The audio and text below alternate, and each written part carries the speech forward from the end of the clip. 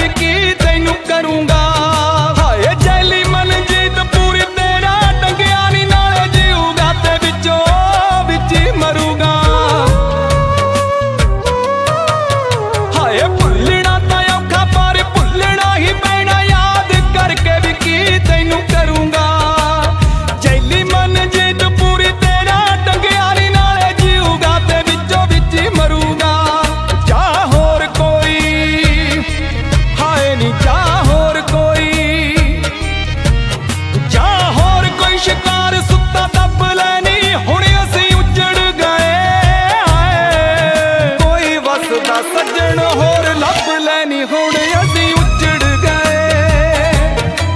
ਨੀ ਕੋਈ ਵਸਦਾ ਸੱਜਣ